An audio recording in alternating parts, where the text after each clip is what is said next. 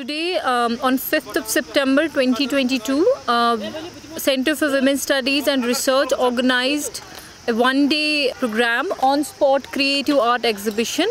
The main idea of uh, this creative expression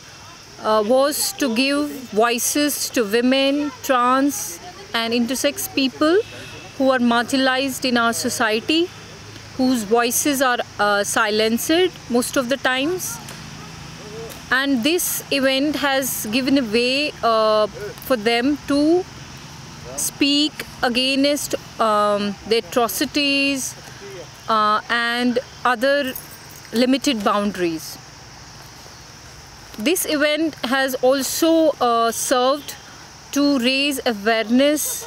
regarding several women's issues that are uh, otherwise not discussed due to a lot of uh, inhibitions in our society which are cultural and social mainly. This event uh, is significant in many ways uh, and one of the uh, important thing about it is that it uh, gives voices to women. Basic theme of this event was that whatever is going on in our society regarding women, whether it is women's violence, whether it is empowerment of women, whether it is female infanticide. And you know, uh, on the one side, we see that women are empowered, women are far ahead in many areas